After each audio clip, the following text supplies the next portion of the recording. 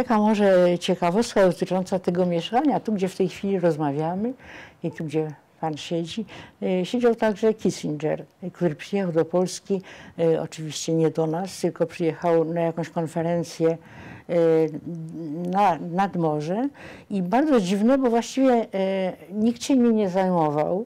Y, nikt jak gdyby nie, no to znaczy z pewnością zajmowali się, zajmowała się ubecja, że on był na pewno dokładnie śledzony, ale w tym sensie, żeby go poprowadzić, czy mu jakoś zaproponować, to jakoś nie dało się. No więc on y, zadzwonił do nas i spytał, czy mógłby nas odwiedzić. A dlaczego? Bo y, więc rok przedtem Artur brał udział w takim Harvard, Harvard International Seminar. I e, to seminarium prowadził właśnie Kissinger. Oczywiście byli tam także inni wykładowcy, takie międzynarodowe towarzystwo z różnych zawodów.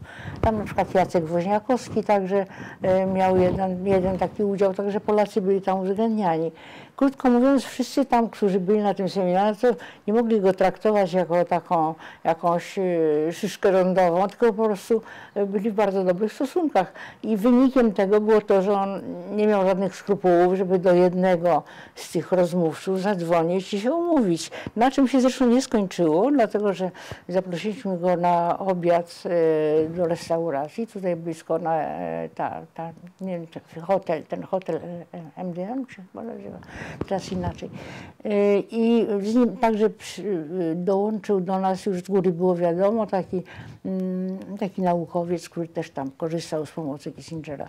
I myśmy byli na tej kolacji z absolutnym takim poczuciem i co się sprawdziło, kiedy siedzieliśmy przy stoliku, już była bardzo miła rozmowa, ale mieliśmy poczucie, że dookoła nas stoliki są obsadzone najprawdopodobniej w pewien szczególny sposób, bo było niemożliwe do pomyślenia, żeby oni nie śledzili Kissingera Kissingera, jak siedzi nas na przykład. No, nie ma porównania skali, jest ogromne. A drugie, jeśli chodzi o to mieszkanie, taka, taka, taka przyjemna, no więc uważam się za wyróżnioną przez to, że miałam Kissingera za gościa, chociaż jak Herling Grudziński wspominał o gościu, to mówił, no to powiedz mu, nie mogę zacytować, co było okropnie, no bo Kissinger miał bardzo wielu przeciwników, nadwolnik zimnej wojny, takich trudności e, e, do Europy, jakoś w Europie, no, nie było, nie wiem jak w Ameryce, tego nie, nie, nie, dostrzegłam, ale w, Amery w, w Europie na pewno. A o czym żeście rozmawiali? A rozmawia, rozma, no, rozmawialiśmy yy, no, o stosunkach w Polsce. Yy, nic specjalnie mu nic takiego ciekawego nie wyjawiliśmy, bo on był doskonale zorientowany, yy, jak w Polsce jest. On głównie się interesował tym, co my robimy yy, i co to jest, bo jak się okazuje, on jednak się trochę literaturą interesował.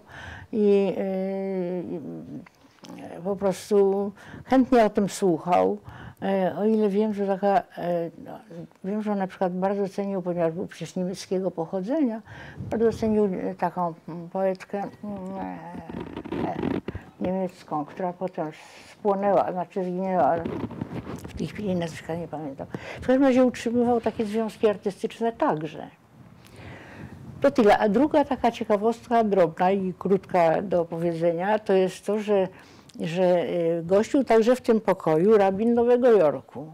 Co, czego się w ogóle nigdy nie spodziewałam. A jak to się stało, to zaraz opowiem. Mianowicie rabin Nowego Jorku przyjechał do Krakowa y, i także tu chyba prawdopodobnie sprawdzić placówki wszystkie takie związane z kościołem y, żydowskim, synagogami i zgłosił się oczywiście również, do, zadzwonił również do Turowicza. No to były takie, y, taki znał stosunek Turowicza do religii w ogóle, a do tych różnych religii także, więc wiedział, że to będzie, że będzie miał ciekawą rozmowę. I rzeczywiście oni tam byli, no ale, y, ale Jerzy nie mógł go znowu tak długo trzymać, bo to też męczące, więc zaproponował mu, żeby on przyjechał, pojechał z nim do Warszawy. Trochę mu tam pokazał Warszawę i to i tamto, a potem go zapytał, czy on by chciał może zajść do, do moich przyjaciół na herbatę, jak on się wyraził. E, więc rabin bardzo chętnie przyjął to. E, wtedy Artura nie było, pamiętam, że to była taka niedziela wakacyjna, ja byłam sama.